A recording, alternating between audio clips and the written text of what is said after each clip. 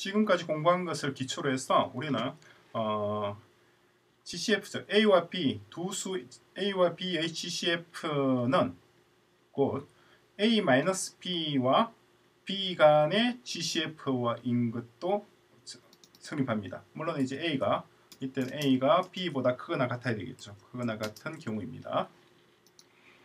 음, 이걸 우리가 이미 공부를 했어요. 우리가 공부한 내용을 기초로 해서 이러한 논리가 이러한 결론이 도출되는데 여러분들이 한번 지난 공부의 내용을 기초로 해서 어떻게 해서 이게 이게 사실이 될 수 있는지 이게 참이 될 수 있는지를 한번 곰곰이 생각을 해보시기 바랍니다.